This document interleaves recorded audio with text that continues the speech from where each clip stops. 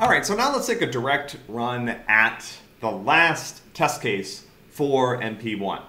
So at this point, you know, don't proceed unless everything else is working. We're also going to talk about a style of uh, development that's known as test-driven development, where you really drive your development process starting from a test suite and responding to the deficiencies that that test suite uncovers. Okay, so um, let me tell you a little bit about how I work on a uh, might work on a project like this, right? So uh, we've actually done some of the hard work for you in the sense that we've written the test suites. Uh, frequently, when I find a bug in one of my systems, like the playground backend, for example, I fixed a bug earlier this week. You know, I identified what the bug was. I wrote a test case for the bug, and then I ran the test case and it failed. And then I went back to the code, wrote some code, made some changes, went back to the test case, uh, and it failed again, and then I kept doing that until the test case succeeded. Now, I also have a much bigger test suite, and usually I'll run that test suite when I start to make sure that everything's still working.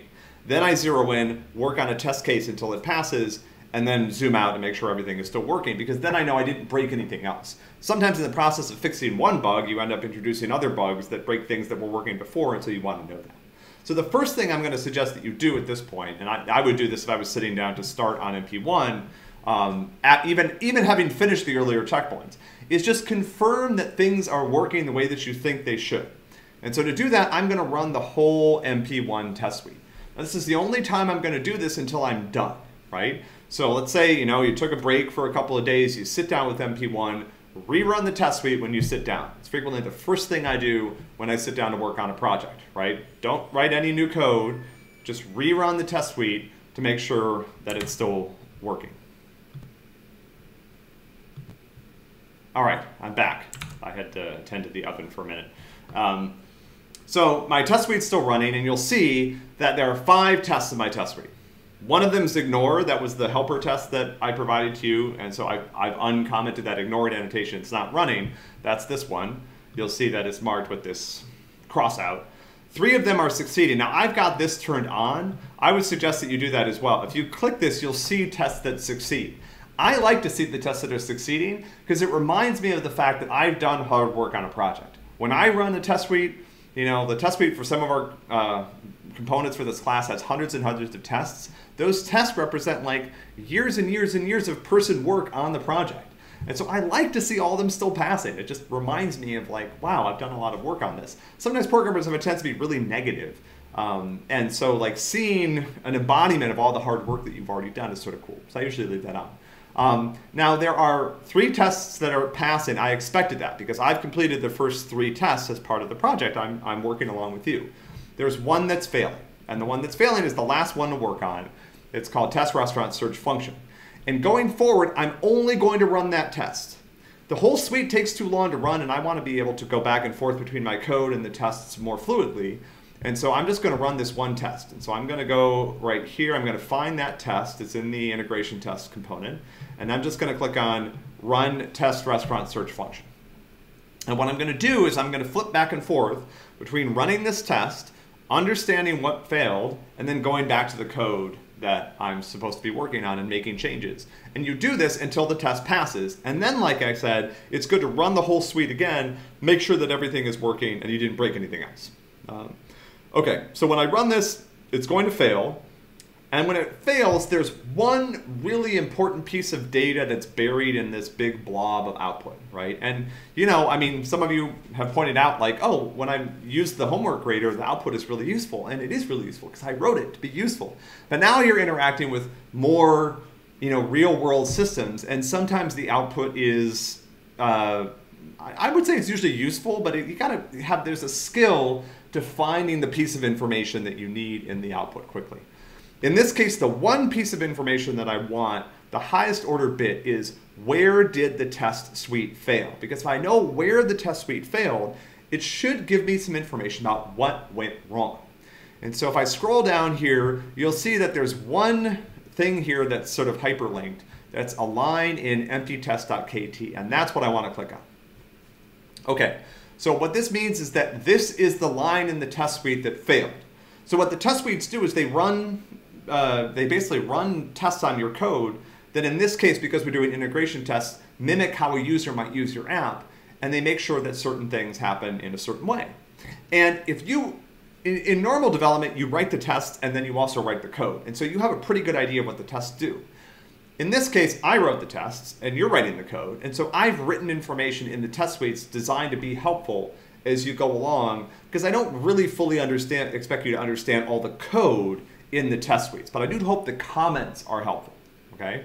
And so what happened up till this point in the test? So you'll see that on line 232, I performed a search that returned that I expected not to return any results.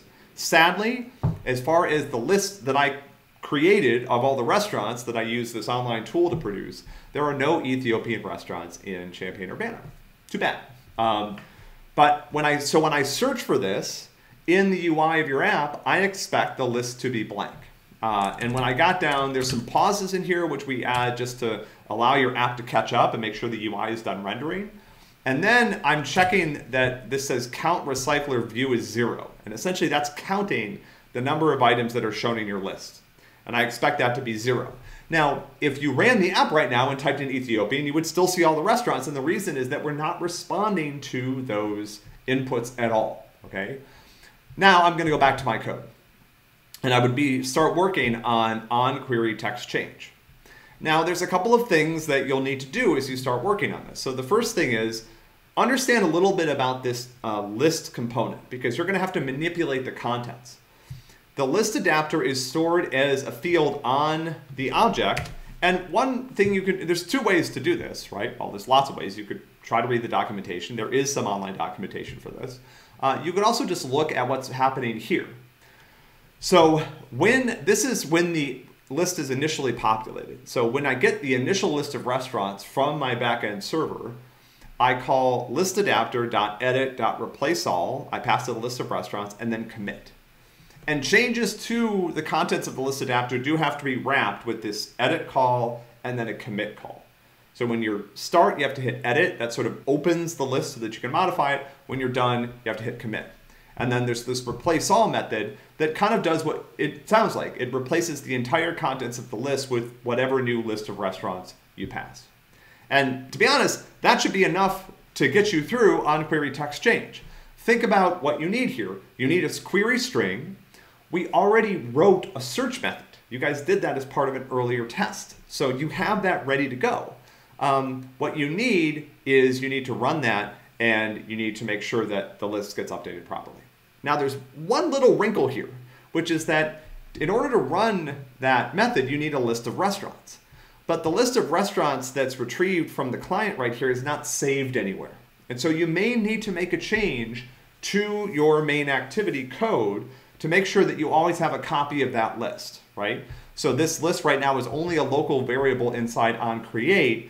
You may need to move it or hoist it outside of onCreate so that it's available to other methods. So for example, there's no restaurants list here uh, that I can use, right? I don't, don't, you don't want to call load restaurants. I want a copy of the restaurants list that, that should, uh, that was passed here, right? So I just need to make sure I save a reference to that um, inside this, this method, right? So there are, there's a few small changes you need to make here, but overall, the code that you write for onQuery text change should be four or five lines of code. It's really uh, not a huge amount to write.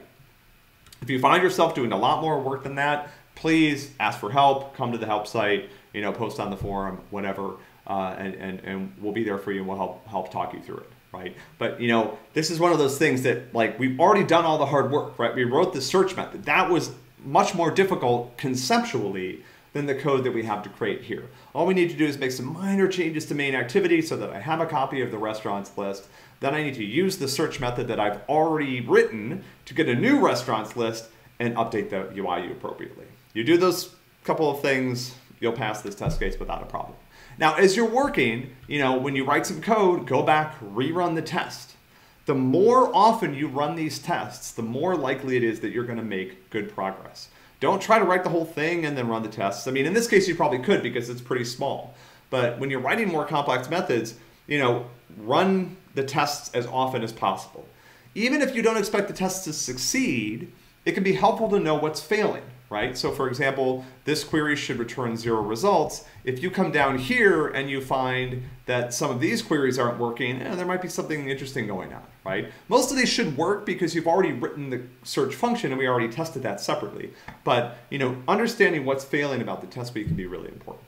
Okay, if, if you apply this, this approach, run the test, write some code, run the test, write some code, run the test, understand what failed, understand why your code isn't meeting the requirement, update your code to try to do a little bit better. If you just proceed in this way, it's kind of ratcheting forward one piece by piece.